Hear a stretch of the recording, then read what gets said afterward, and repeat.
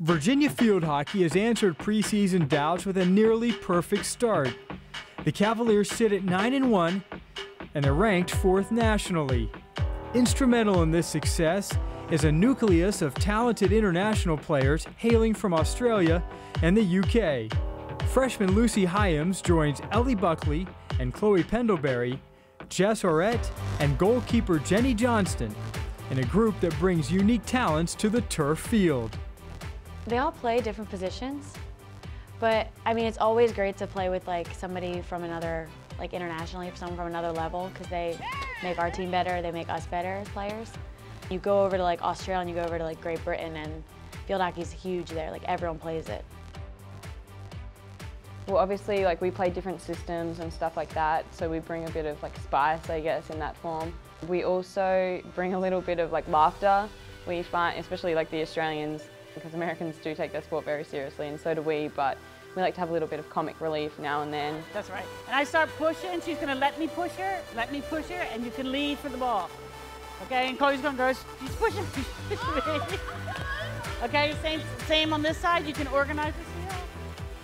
Jess Art, she's a very like good worker, so she's got like different touches on the ball to most people, and then Ellie's got him like a really big hit, and Jenny's just awesome in goals. So internationals do add a little bit of something different, especially because our field hockey system's so different.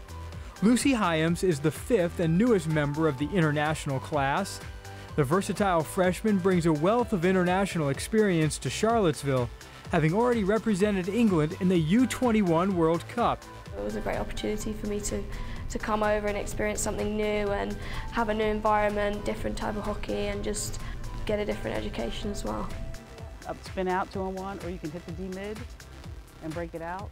It was kind of a full-on process when I first got here, coming from all the things I learned at the World Cup to completely changing my outlook and the system's different. I think it gives a lot of attacking opportunities, which is really good. And I think Coach Madison is great and understands how I play and the way I like to play. And she gives great feedback always, so it's, it's great to work with her.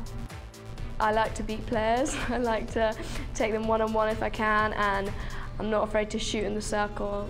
I'm kind of want to score as much as possible so I'm a bit feisty when I get in the circle.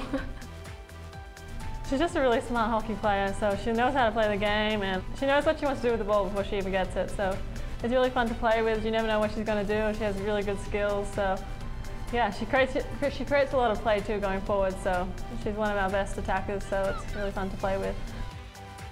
We work really hard as it is now, but I know that everyone's going to give that extra 10% in every training session, which is going to make all the difference when we make the ACC tournament and the NCAA. And I think we've got a great chance. So if we put it all together at the right time, we could go places.